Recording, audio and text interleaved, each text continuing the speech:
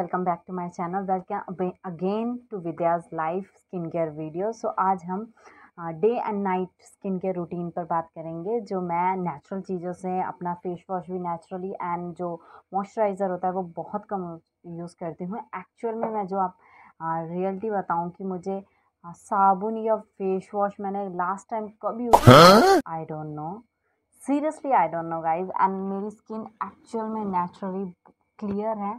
तो इसीलिए मैं डी पे ट्रस्ट करती हूँ होम रेमेडीज़ पे ट्रस्ट करती हूँ केमिकल बहुत कम यूज़ करती हूँ। आपको स्टार्टिंग से बताती हूँ कि मेरा डे कैसे स्टार्ट होता है एंड नाइट में मैं अपने हेयर और स्किन की कैसे केयर करती हूँ। सो so, हमारा मॉर्निंग मेरा मॉर्निंग का होता है कि मैं पाँच बजे उठ जाती हूँ पाँच बजे उठ के मैं मॉर्निंग वॉक के लिए जाती हूँ। उसके बाद मैं वहाँ से आके एक मेरा एक कप है मतलब पिक्चर में चेक कर लेना। सो so, एक कप मैं गर्म पानी का पीती हूँ या कभी वो तुलसी का होता है कभी वो फेनुग्रेक सीड होता है कभी लेमन होता है। वो मेरा मॉर्निंग स्टार्टेड ही वहीं से होता है कि मैं गुनगुना पानी पीऊँ। सो so, जो हमारे डाइजेस्टिव सिस्टम को भी मतलब कं जो बोलते हैं ना मैनेजेबल रखता है और जब आपकी डाइजेस्टिव सिस्टम आपके अंदरूनी मतलब आप हेल्दी हो तो स्किन और हेयर एक्चुअल में हेल्दी रहेंगे।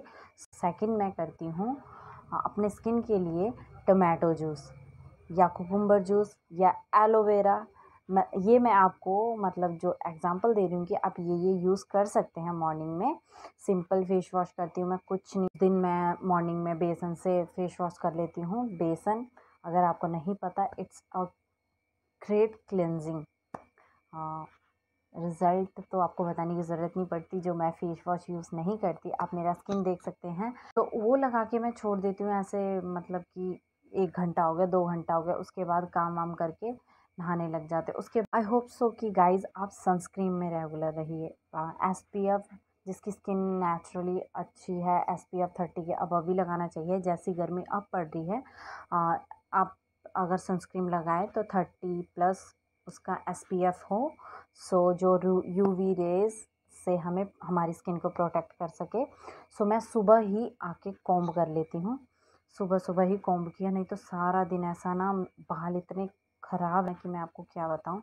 सो ये मेरा डे का हो गया, जो सिंपल सा है। एंड मेरा नाइट है, वो जो थोड़ा उलझन आप बोल सकते हो बट मेरे लिए बहुत अच्छा होता है, बहुत मेरा शांत मन कर देता है ये पूरा करके। सो मैं अभी भी कर चुकी हूँ। सो पहले मैं यूज़ करती हूँ बेसन से face wash as a face wash मैं बेसन यूज़ करती हूँ। फिर मैं आपको वीडियो में बता भी दूँगी कि कैसे यूज़ करती हूँ। अच्छे से पाँच से छः मिनट तक मसाज किया एंड देन क्लिनज उसके बाद एज ए मॉइस्चराइज़र आपको कुछ लगाने की ज़रूरत नहीं। आप मलाई मलाई से अच्छे से मसाज कीजिए एंड देन मलाई से मसाज करने के बाद आप अच्छे से उसको ना मतलब स्किन को मसाज कीजिए जिससे ब्लड सर्कुलेशन आपका मतलब जो ब्लड सर्कुलेशन जब बढ़ता है ना आपकी स्किन का तो आपकी स्किन नेचुरली ग्लो होती है। सो so, मसाज ज़रूर करें या आप मलाई नहीं लगाते तो आप एलोवेरा जेल लगा लिए उससे मसाज कीजिए ज़रूरी तो हमें मसाज है ठीक है? बट अगर आप कर सकते हैं तो प्लीज़ मलाई ही यूज़ कीजिए। मलाई लगा के then I am face wash कर लेती हूँ। उसके बाद मुझे कुछ लगाने की ज़रूरत नहीं पड़ती। कुछ भी नहीं, ना लिप बाम, ना कुछ भी।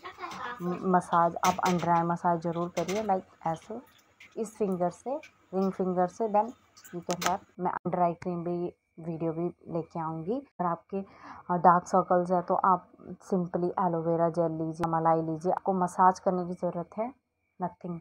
वेरी सो अगर कहो तो मैं नेचुरल अंडर आई क्रीम भी आप लिए लेके आऊँगी। मैं अपने बालों को कोम्ब करना नहीं बोलती। प्लीज़ नाइट में कोम्ब करके ब्रेड बनाना मत भूलिए। सो इतनी ही मेरी स्किन केयर रूटीन है स्किन केयर हेयर केयर जो आप बोल सकते हो। सो ये मेरे लिए मतलब जो मेरी स्किन को ग्लो करने में बहुत हेल्प की है इसने। I hope you like it then अगर यू आप मेरे चैनल पर नए हैं so do subscribe and bye guys take care